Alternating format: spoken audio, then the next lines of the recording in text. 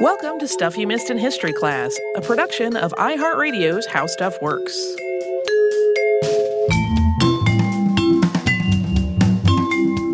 Hello and welcome to the podcast. I'm Tracy V. Wilson. And I'm Holly Fry. Several times in previous episodes, we have talked about the role of Quakers, who are also called Friends, in the abolition of slavery. We haven't, though, really talked about the Religious Society of Friends before it became such a visible part in the movement for abolition. Benjamin Lay was a Quaker and a radical abolitionist who lived in this period between when the Religious Society of Friends started and when it started formally banning slave ownership among its members. During that time, there were actually a lot of Quaker slave owners, especially among the more wealthy and more powerful members. And Lay was incredibly outspoken about this issue in an incredibly visible and memorable way. In the words of Roberts Vaux, who wrote a brief biography of Lay in the 19th century, quote, if the comparison be admissible, he appeared rather like the comet, which threatens in its irregular course the destruction of the worlds near which it passes, than as one of those tranquil orbs which hold their accustomed place and dispense their light in the harmonious order of heaven.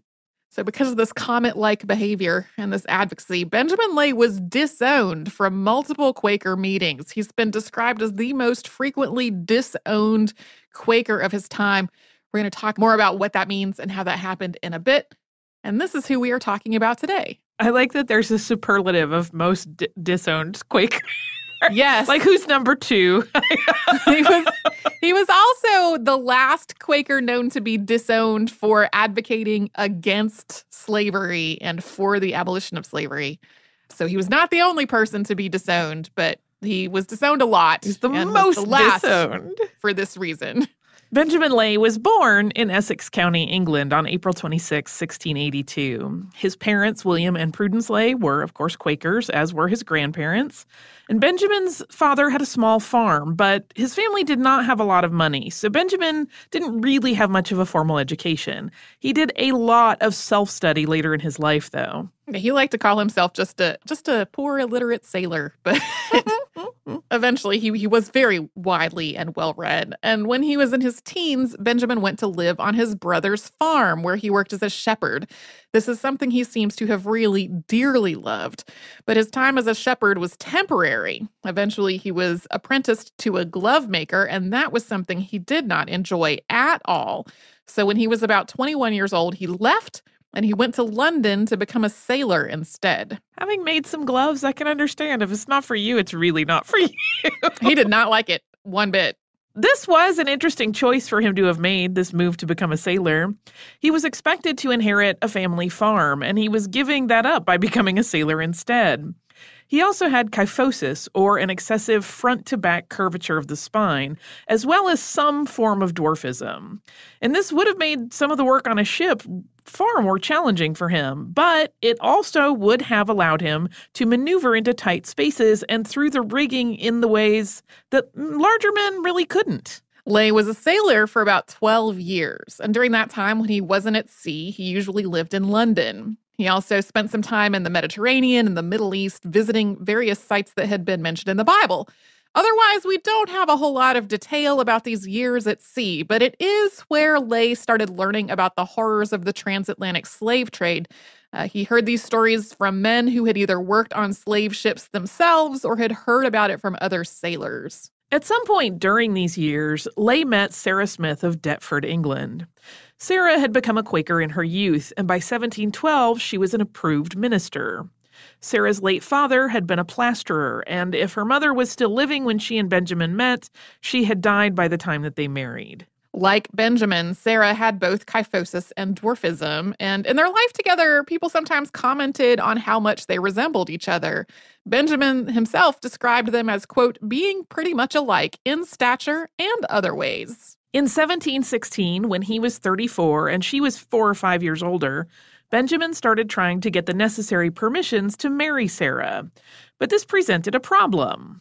In order to marry within the Religious Society of Friends, you had to be a member in good standing. But Benjamin had made some waves in his home congregation in London, which was Devonshire House Monthly Meeting. When the Quaker movement was very first evolving in Britain in the mid 1600s, a lot of the time it was really confrontational. One of the movement's core beliefs was that each person could have a direct relationship with God, and in terms of the movement's ideals, it didn't have any sort of hierarchy.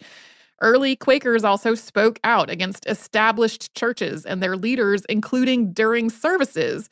But by the time Benjamin Lay came along, the Religious Society of Friends had become much more conservative, speaking out against ministers and elders and weighty friends, which is a term for influential Quakers, was just not done. Benjamin did it, though. We don't know what exactly he had been criticizing in Devonshire. He had a particular dislike for vanity, pride, and covetousness. And he also didn't like preaching that seemed like the minister's own words rather than the word of God.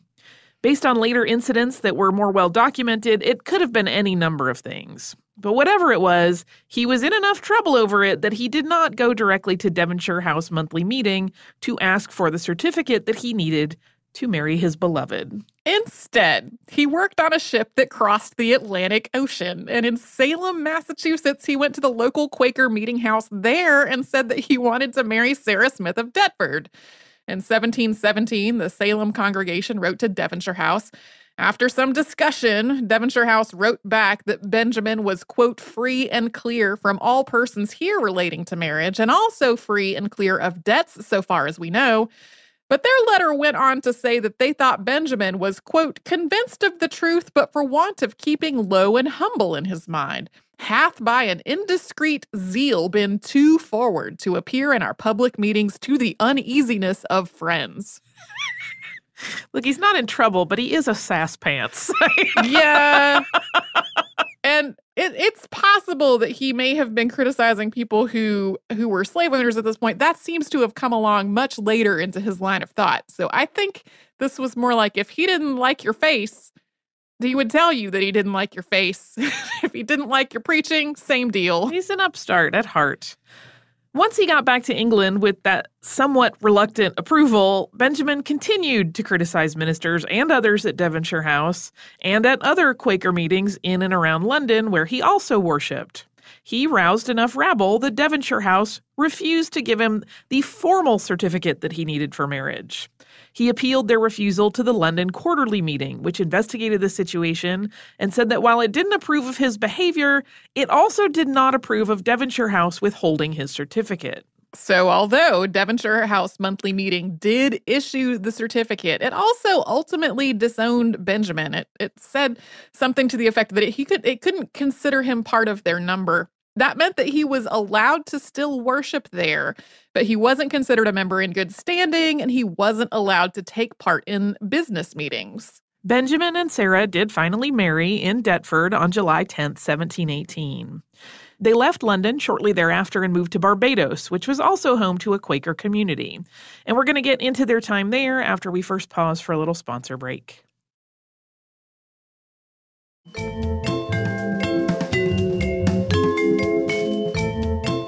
When Benjamin and Sarah Lay got to Barbados, Benjamin established himself as a merchant with a small shop that was stocked with provisions that he'd bought before leaving England. Before long, they experienced a series of small thefts from this store. And if Benjamin was able to catch the perpetrator, he'd punish them with a lash, which was a pretty common punishment for theft at the time. But soon Lay realized that the enslaved people who were stealing from his store were driven to it by absolutely desperate circumstances. They were either stealing food because they were starving, or they were stealing items that they could sell or trade for food. So, upon this revelation, Benjamin was full of remorse for what he had done. And he and Sarah set up an informal ministry for the enslaved people of Barbados. They fed as many as they could with what they had, although it was often spoiled in the Caribbean heat. And they established a Sunday school where Benjamin both taught and counseled enslaved people and listened to them as they talked about their own lives and experiences. So, by listening to the the words of the people around them and by their own observations, the Lays quickly learned that conditions in Barbados were really horrific. They repeatedly witnessed people collapsing from exhaustion and overwork. One enslaved man that Benjamin knew took his own life rather than continuing to be subjected to regular beatings. At one point, Sarah was going to visit another Quaker who was living nearby, and on her way there, she found a man hanging, in Benjamin's words, quote, stark naked, trembling and shivering, with such a flood of blood under him that so surprised the little woman she could scarce contain. So when Sarah got to the house of the people she was visiting, she asked them what was going on, and they told her that this man was being punished for, quote, absconding a day or two. This experience in Barbados influenced not only Benjamin Lay's views on slavery, but also his views on Africans and people of African descent in general. A lot of the other white abolitionists that we have talked about on the show argued that slavery was immoral, but they were also racist. But Lay really believed that all people were equal, later writing, for example, quote, the many hundreds of thousands that are now in slavery, were they at liberty as we are, had the same education, learning, conversation, books, sweet communion, and our religious assemblies, I believe many of them would exceed many of their tyrant masters in piety, virtue, and godliness, and their bright genius, which I know they have, would be enlivened. For I have conversed with many of them, for liberty is life, and slavery is death. Yeah, one of the other things that gets pointed out about his writing a lot is that there were a lot of abolitionists that still talked about Africans and people of African descent as savages. And he reserved that kind of language for the people who owned slaves. He never used that sort of language about people who were enslaved or people who were of African descent.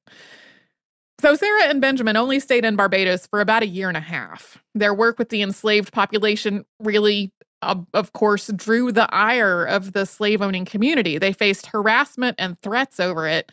Sarah was also afraid that if they stayed there, they would eventually become desensitized to what they were seeing.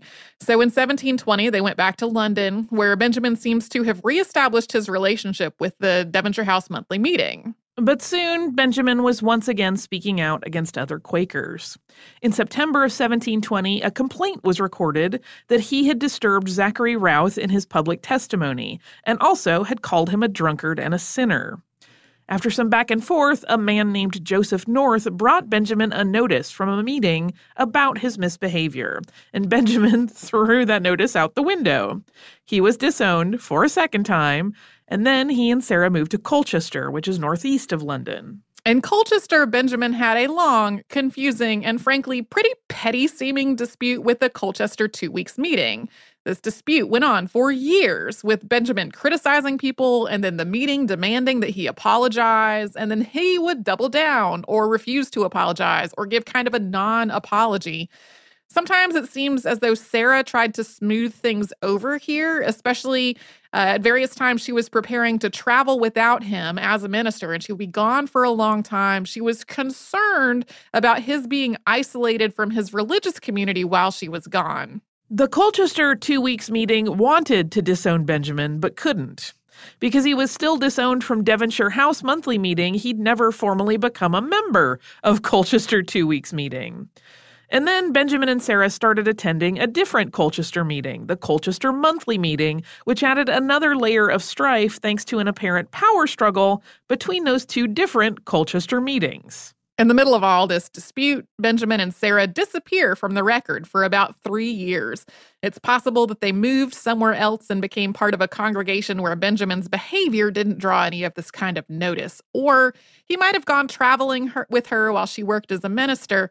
Regardless, in 1729, they were back in Colchester trying to make arrangements to immigrate to Pennsylvania. The colony of Pennsylvania had been founded by William Penn in 1681, in part to be a home for Quakers who were facing violence and persecution in Europe. He called it his holy experiment, and he wanted it to follow Quaker ideals. Penn wanted fair treatment of the native people, no military, and a government that ran on principles of freedom, including religious liberty, access to education, and universal suffrage for men. So, this was an obvious place for the Lays to want to move. But once again, to immigrate to Pennsylvania, they needed a certificate from a Quaker meeting in England. Colchester Monthly Meeting may be motivated by the idea of Benjamin Lay living somewhere else agreed to provide the certificate if Benjamin made amends with Devonshire House, which he did. On November 3rd, 1731, Devonshire House sent a letter to Colchester Monthly Meeting clearing Benjamin of wrongdoing. Colchester Monthly Meeting received Benjamin as a member and issued the certificate for him to move to Pennsylvania.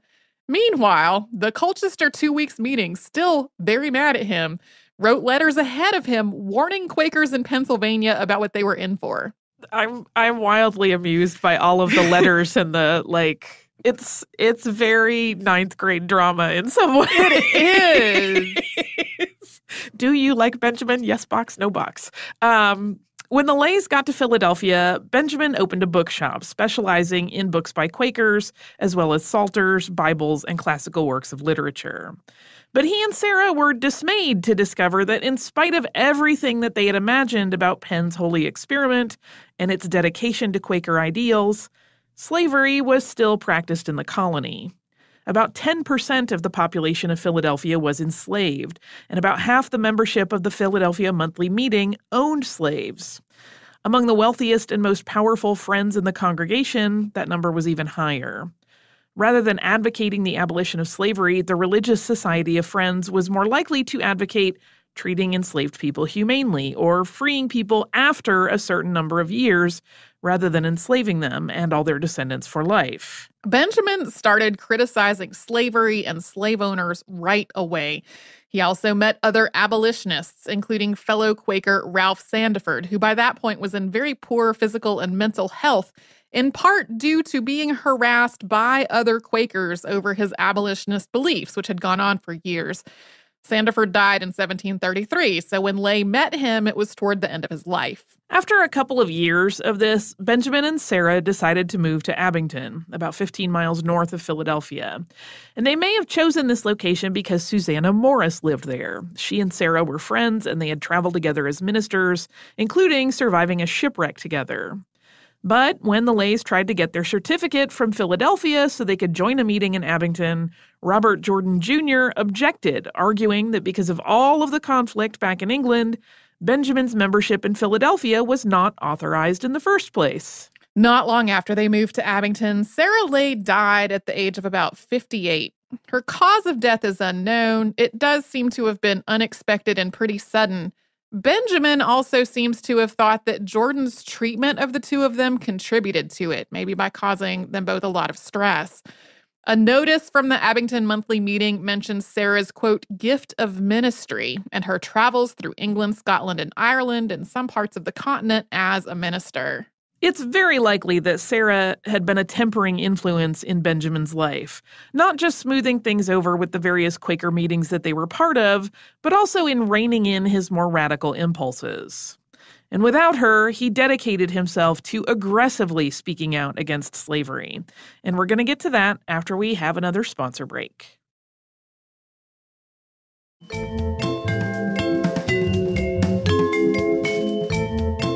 Some of the chronology of Benjamin Lay's life is a little bit fuzzy, so it's possible that some of the things we're about to talk about happened before his wife died. Even if that's the case, though, after Sarah's death, Benjamin became known as an increasingly eccentric figure.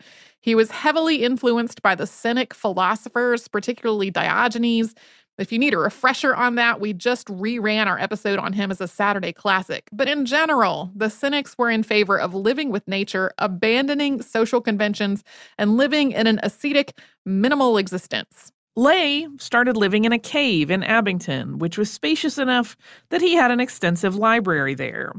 It was also big enough for a spinning wheel, which he used to spin flax.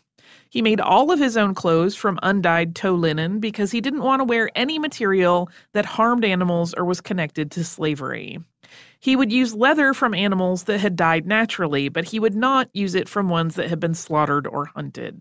Lay had also become a strict vegetarian, although he did drink milk and he ate honey that was made by bees that he raised himself, taking care not to harm any of them when he harvested it. He didn't drink tea because of the abuses in the tea industry in Asia, and he didn't eat sugar because it was grown, harvested, and processed by enslaved Africans. He also went everywhere on foot because he didn't want to exploit the labor of horses. He started publicly condemning slave owners, especially Quaker slave owners, including during meetings. And he became increasingly dramatic in his protests. After interrupting someone in a meeting, he was forcibly carried out into the rain and he lay in the mud so that the whole congregation had to step over him as they left. On another occasion, he stood outside the meeting house in the snow with one boot off and the leg of his pants rolled up. When people asked what he was doing or said that he should go inside because he might get sick, he answered, quote, You pretend compassion for me, but you do not feel for the poor slaves in the field who go all winter half clad to protest the use of slave labor in the tobacco industry and tobacco's unwholesome effects on health, Lay took three pipes to an annual Quaker meeting, and he smashed each of them one among the ministers, one among the women, and one among the men. A lot of Quaker congregations at that point separated by gender. He did a similar demonstration against the tea industry, protesting the conditions in the tea and sugar industries and the luxury that was associated with tea by smashing his late wife's tea set with a hammer in a public square. Lay also tried to convince some neighbors to free a young girl that they were enslaving as a household servant. He had also made friends with their child. In some accounts, this was a son, and in others, it's a daughter. One day, he convinced this child to come stay with him for the afternoon. And when he saw the parents that evening, distraught over their missing child, he said, quote, Your child is safe in my house, and now you may conceive of the sorrow you inflict upon the parents of the Negro girl you hold in slavery, for she was torn from them by avarice. At one point, Lay traveled to Philadelphia to visit another Quaker family. He arrived as they were having breakfast, and he asked them whether the person who was serving their meal was enslaved. When they answered that yes, he was, Lay said, quote, Then I will not share with thee in the fruits of thy unrighteousness. And he left. There are so many points in his story where I want to yell, right on! Um, yeah. Benjamin Lay is putting the rest of us to shame. Completely. Uh, Lay's most famous anti slavery demonstration took place at the Philadelphia Yearly Meeting on September 19, 1738. This was an annual meeting of all the Philadelphia area Quaker meetings held in Burlington, New Jersey. Lay walked about 20 miles to get there wearing a military uniform with a sword belted to his hip under an overcoat. He also carried a hollowed out book in which was concealed a bladder filled with bright red pokeberry juice. During this meeting, he stood up and said, quote, Oh, all you Negro masters who are contentedly holding your fellow creatures in a state of slavery during life, well knowing the cruel sufferings those innocent captives undergo in their state of bondage, both in these North American colonies and in the West India Islands, you must know they are not made slaves by any direct law, but are held by an arbitrary and self interested custom in which you participate. And especially you who profess to do unto all men as ye would would they should do unto you, and yet in direct opposition to every principle of reason, humanity, and religion. You are forcibly retaining your fellow men from one generation to another in a state of unconditional servitude. You might as well throw off the plain coat as I do. He unbuttoned the one button of his coat and let it fall on the ground, and then went on, quote, It would be as justifiable in the sight of the Almighty, who beholds and respects all nations and colors of men with an equal regard, if you should thrust a sword through their hearts as I do through this book. In some accounts, he also said, Thus shall God shed the blood of those persons who enslave their fellow creatures. So then he drew the sword, stabbed it through the book and the bladder that was concealed inside of it, let the fake blood drip out of it and flung drops of it all over the slave owners who were around him. He was like an early performance artist. I kind of love it. Uh, these demonstrations, unsurprisingly, angered the slave owning members of the Quaker community. They were personally offended, and his aggressive confrontations ran against the Quaker values of peace and unity. In that pokeberry juice demonstration, Lay had also walked into a pacifist congregation wearing a military uniform and carrying a weapon. On top of all that, in 1738, Lay also published a book without the authorization of the church's overseers of the press, who were supposed to approve all published material by Quakers.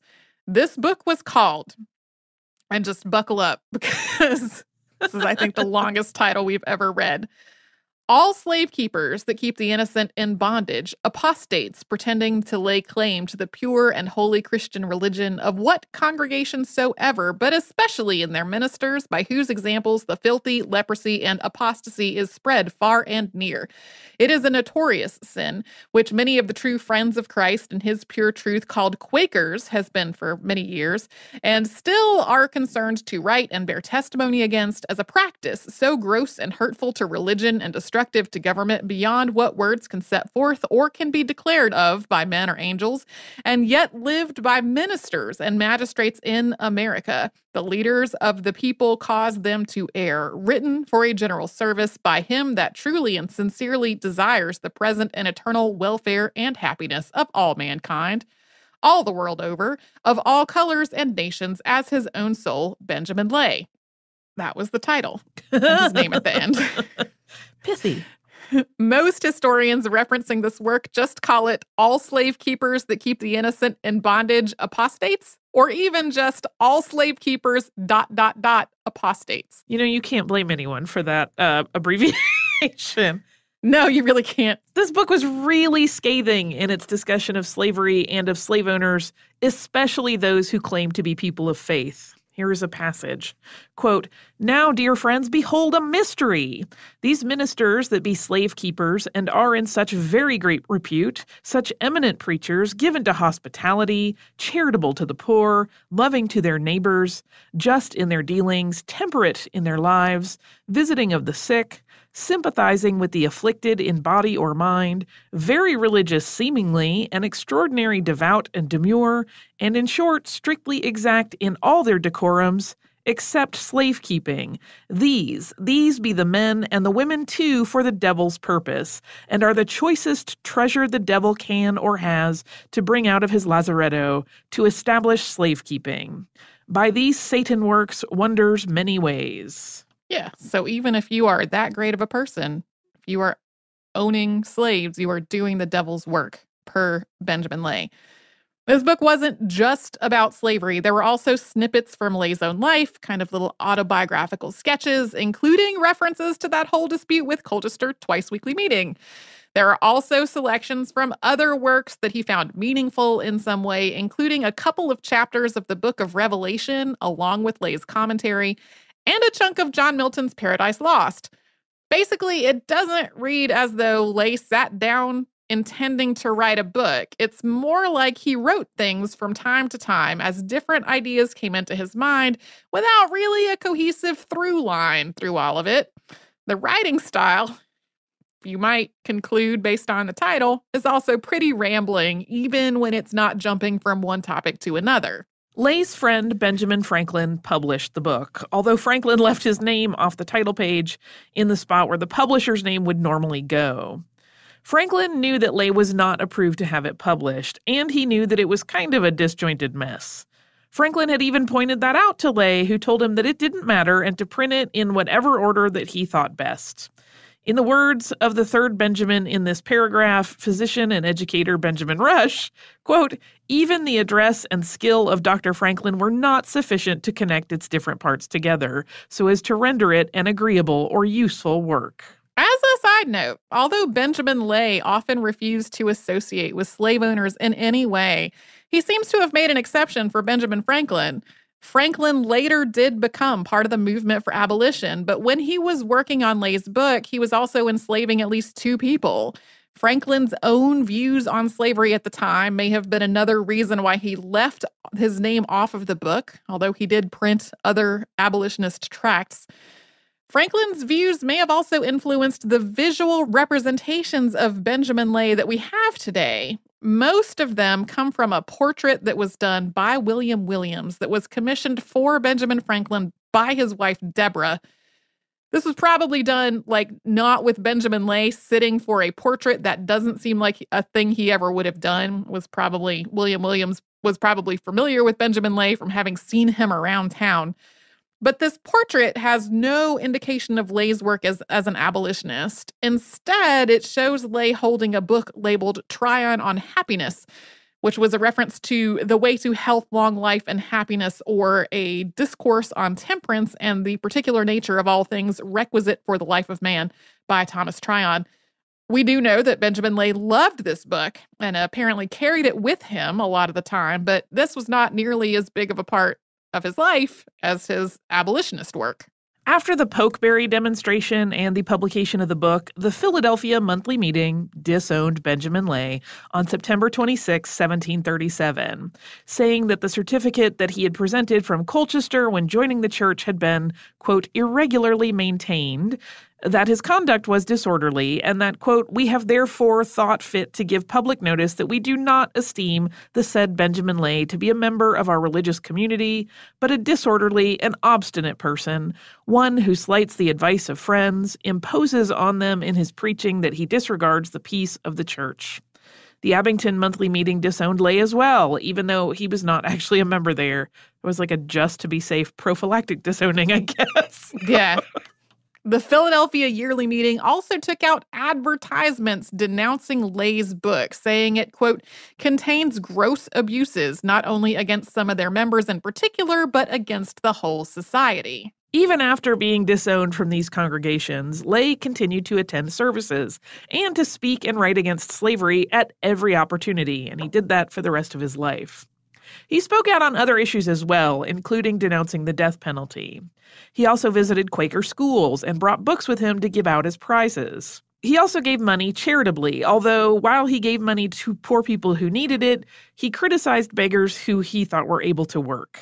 In 1758, as Benjamin Lay's health was declining, a friend visited him and told him that the Philadelphia annual meeting had decided to start disowning members who were part of the slave trade.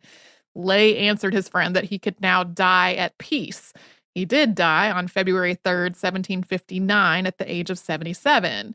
Almost 20 years later, in 1776, the Philadelphia annual meeting banned slave ownership among its members, and then other annual meetings followed from there. Because he had made some money during his lifetime, but had spent almost nothing in his last years, Benjamin Lay left behind an estate that was divided up among family members and charitable institutions, along with 40 pounds to the Society of Friends at Abington for the care of poor children in the congregation. He was buried in an unmarked grave at the Abington Burial Ground, although the registry there did not list him as a member. He had asked a friend to arrange for his body to be cremated and his ashes thrown into the sea, but cremation was not really practiced among Quakers at that point, and his friend refused. For a few decades after his death, Benjamin Lay continued to be well known, especially in the area where he lived. In the words of Benjamin Rush, who we mentioned earlier, these were written in 1790, quote, There was a time when this celebrated Christian philosopher was familiar to every man, woman, and to nearly every child in Pennsylvania. Lay was particularly remembered among abolitionists, but eventually he seemed to just disappear from history, and the historians who did mention him often dismissed him as kind of an eccentric crank rather than as somebody who paved the way for later abolitionists. The erasure was widespread enough that when Dave Wermeling, a caretaker at Abington Meeting House, found an etching of Lay in the 1990s, he didn't know who it was. Neither did any of the older members Wermeling asked about it. It remained a mystery until Marcus Rediker visited the meeting house in 2014 while researching his book, The Fearless Benjamin Lay, the Quaker dwarf who became the first revolutionary abolitionist. That book was one of the sources for this episode. It is very good and also not particularly long if folks are interested in picking it up. Rediker's work brought new attention to Benjamin Lay's life and work, and based on his research, Rediker also encouraged Quaker congregations to revisit those past decisions to disown him. Eventually, the four congregations that had disowned Lay or their successors issued statements about it. And as one example, on November 12, 2017, the Abington Monthly Meeting of the Religious Society of Friends issued a statement that it, quote, recognizes Benjamin Lay's dedication to equality and his willingness to repeatedly speak his messages of truth to a society that was in denial about the evils of slavery. We acknowledge that Benjamin Lay used radical activism in his attempts to teach his peers to recognize the equality before God of all people, regardless of race or gender. He lived his life with integrity according to his Quaker beliefs, and he called others, especially slave owners, to accountability. The statement went on to say, quote, We now recognize the truth behind Benjamin Lay's abolitionist efforts. Although we may not reinstate membership for someone who is deceased, we recognize Benjamin Lay as a friend of the truth and as being in unity with the spirit of our Abington monthly meeting. Yeah, the statements from the other congregations that had disowned him during his life had very similar tones and, in some cases, issued joint statements about it. In addition to all of these statements, a stone commemorating Sarah and Benjamin Lay was placed in the Abington burial ground on April 21st, 2018, and a historical marker, a state historical marker, was dedicated on September 22nd, 2018. So he has become a little more well known over the last couple of years.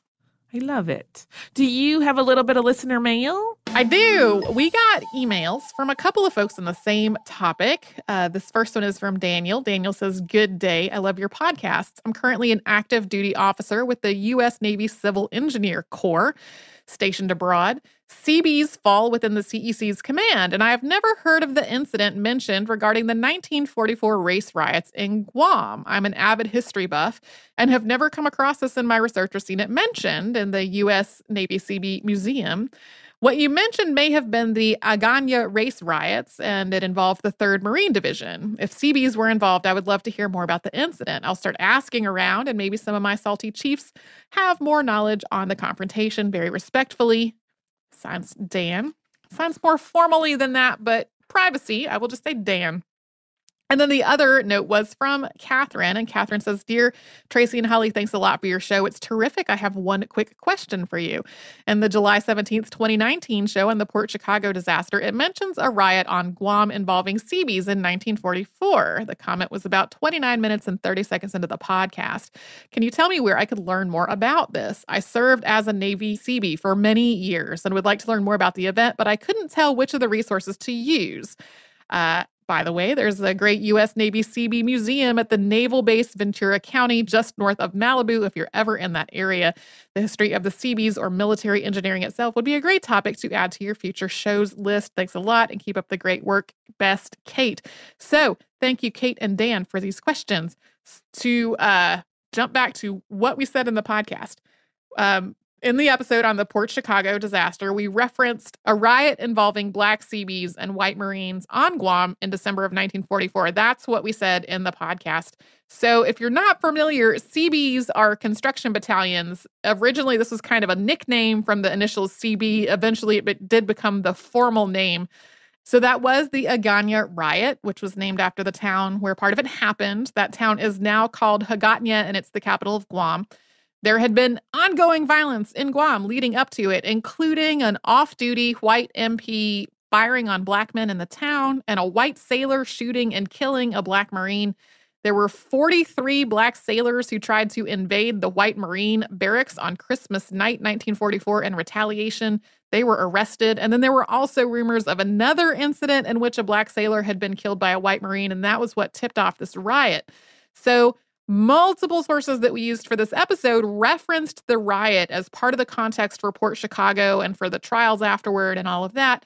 And some of them used the name Agana riot and others didn't. Only one of them describes the black servicemen involved as Seabees, and that was uh, an essay by Charles Wollenberg called Blacks versus Navy Blue, the Mare Island Mutiny Court Martial, and that was published in the journal California History. Other accounts that were part of the research didn't describe these men as Seabees, but they were also pretty vague and contradictory about who the black servicemen were and what unit they were with. This is surely info that does exist concretely somewhere. It's just not something I could confirm leading up to it. So it's possible that Wollenberg just made an error when he described these men as Seabees, or that he conflated the Agana riots with something else because there were other things that went on with the Black Seabees in World War II, including about a thousand Black Seabees who went on a hunger strike in March of 1945 to protest discrimination and segregation, and uh, 19 Black Seabees who were dishonorably discharged in October of 1943 after they had reported racial discrimination. So that is the whole story of attempting to clarify what we said in the podcast. Um, so thank you to uh, both of you for writing in about that. If you would like to write to us about this or any other podcast, we're at historypodcast at howstuffworks.com. And then we're all over social media at Missed History. That is where you will find our Facebook, Twitter, Pinterest, and Instagram. You can come to our website, which is missedinhistory.com, and find show notes for all the episodes Holly and I have done together and a searchable archive of all the episodes ever. And you can subscribe to our show on Apple Podcast, the iHeartRadio app, and wherever else you get podcasts. Stuff You Missed in History Class is a production of iHeartRadio's How Stuff Works. For more podcasts from iHeartRadio, visit the iHeartRadio app, Apple Podcasts, or wherever you listen to your favorite shows.